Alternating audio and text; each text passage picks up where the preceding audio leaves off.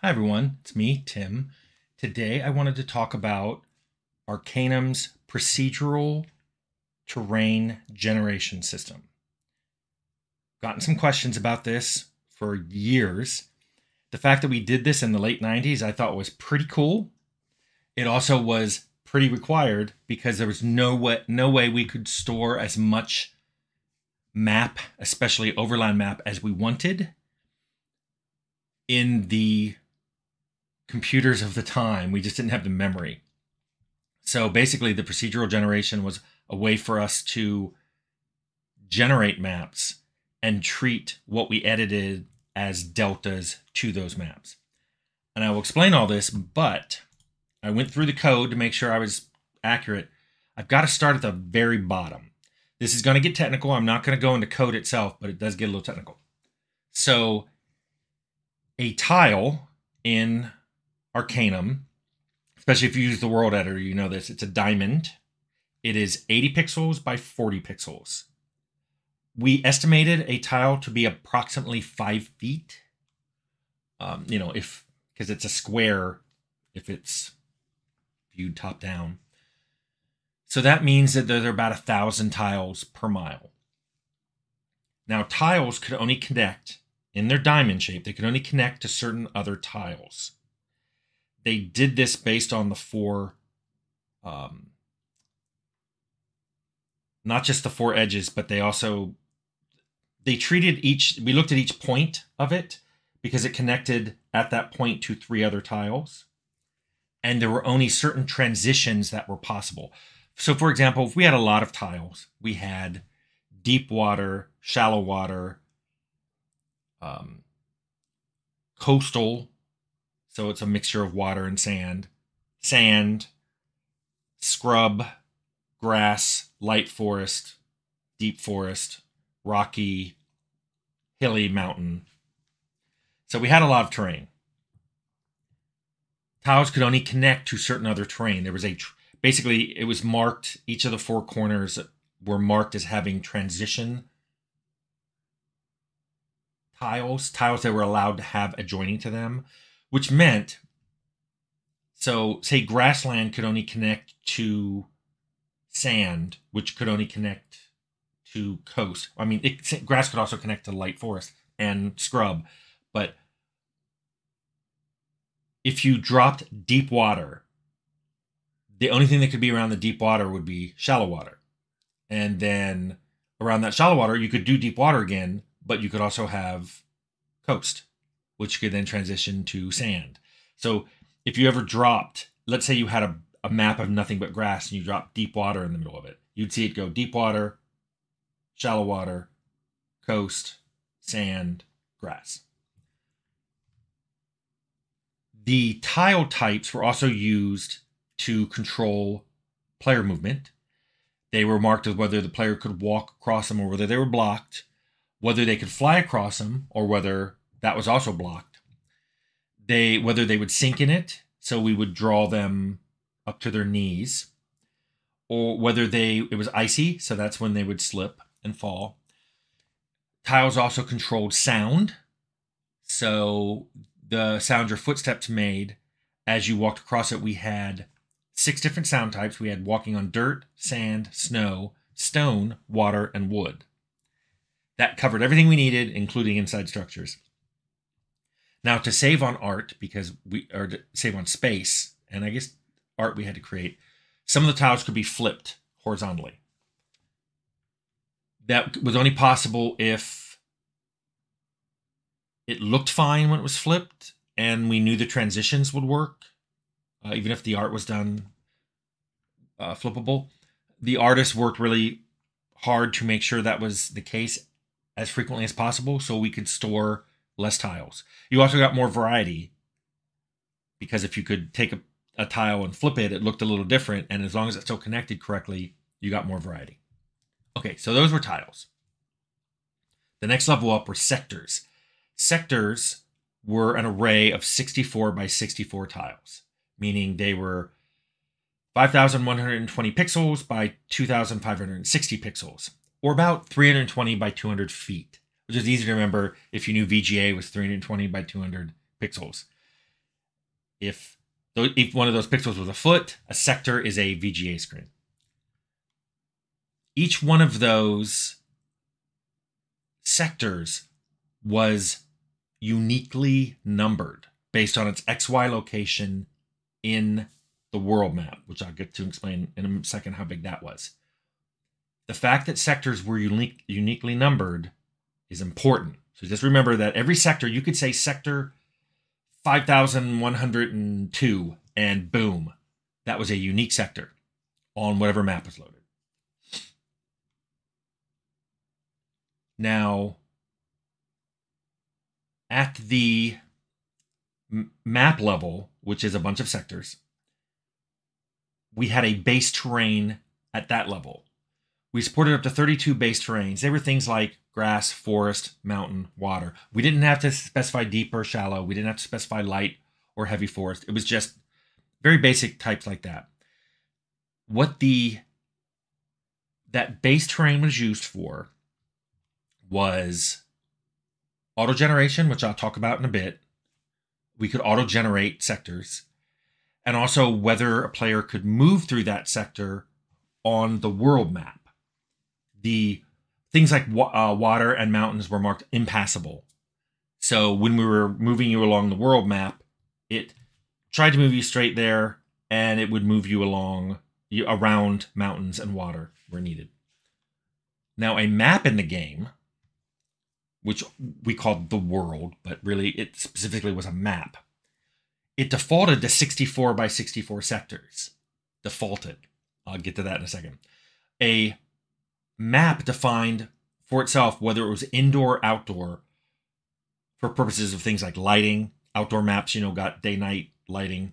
Some backgrounds cared about whether you were indoors or outdoors, in addition to whether it being day or night. We also pass that information to audio. So if they wanted to make different sounds, like audio, uh, ambient sounds at night could be different than daytime for the map, they could do that. Now, structures would override that. If you were an indoor map, you're always indoors. But if you're an outdoor map, if you went into a structure, that would override it. And you'd be indoors structures were made differently than a lot of other things. We had a top down way of doing structures as rectangles. It's too long to go into it here, so just know that structures exist. Structures are basically buildings, but basically anything that we wanted to call a structure, we could make a structure ability for. Basically, it's rectangular things put in the world that you could go inside of. Now, the Arcanum world map was 2000 by 2000 sectors mostly foot up at that central continent. That meant that Arcanum was 128 square miles, 128 miles on a side. That is a large world for late 90s. And remember, you could just walk through this anywhere you wanted to go. However, our world map's maximum size was 67 million sectors square precisely 67,108,864. That translates to 4.2 billion tiles, hint, unsigned max int, or about 4.2 million miles square. So, in theory, with the Arcanum World Editor, you could make a map that was 4.2 million miles on a side. That's a big map. We never made a map that big. Now, maps were created in the world editor that we shipped with the game. We created it with the same world editor that game came with the game. You basically would create a map. Now, the way we would uh, treat like when you when you created the map, you would paint sectors down on it.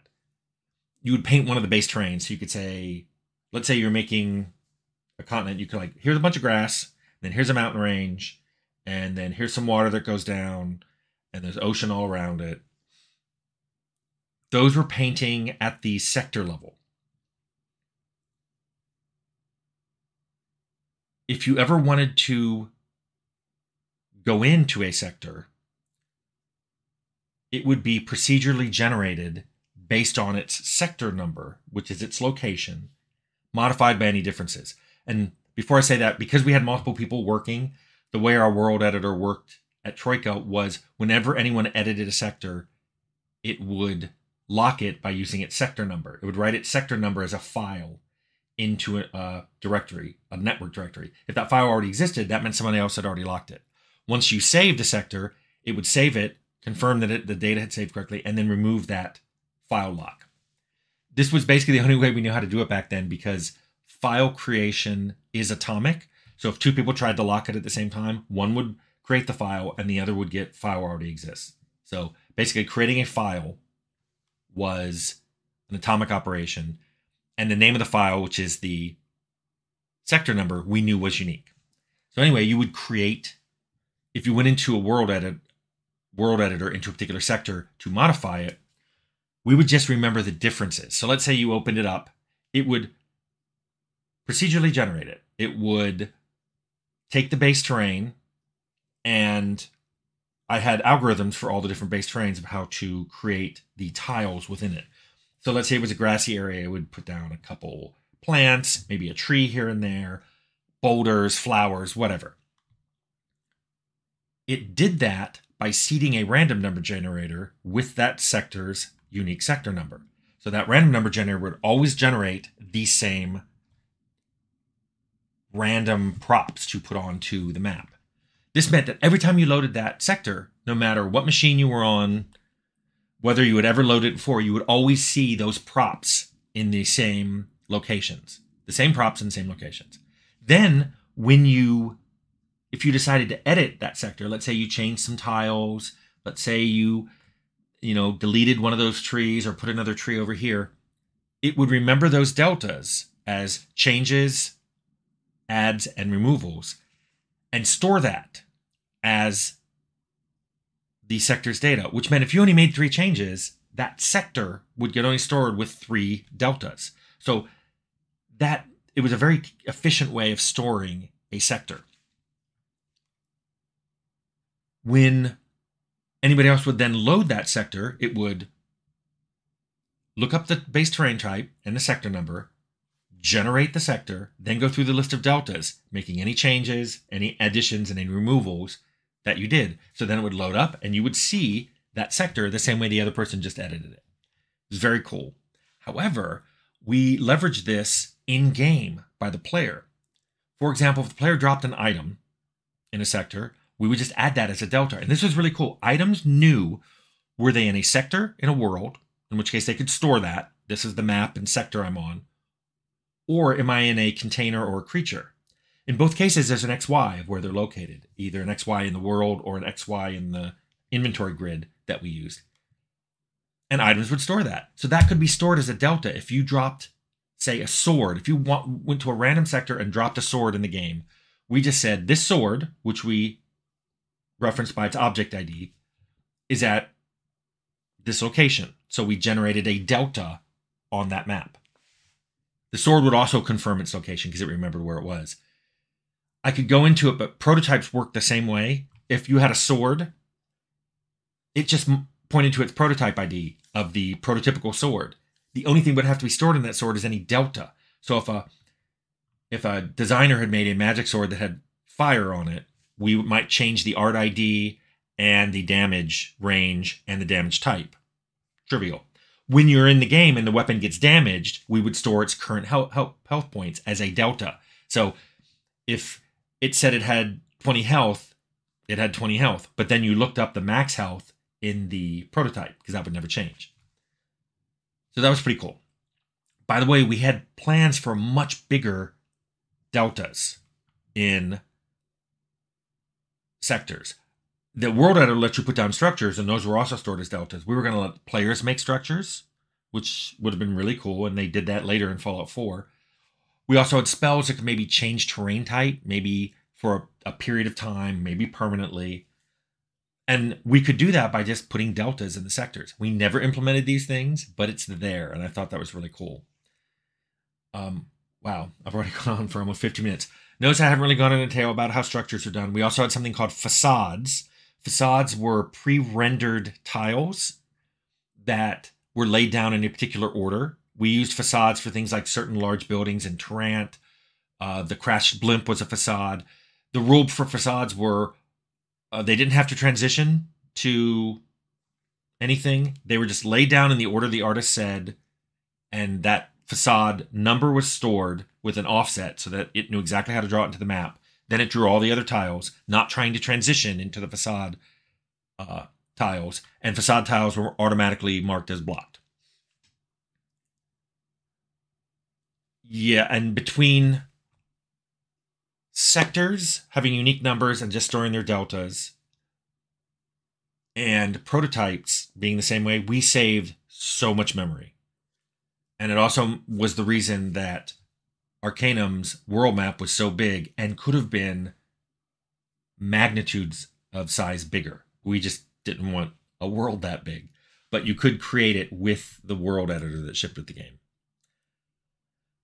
Anyway, I hope that was an interesting view into procedural terrain generation in a 90s isometric RPG.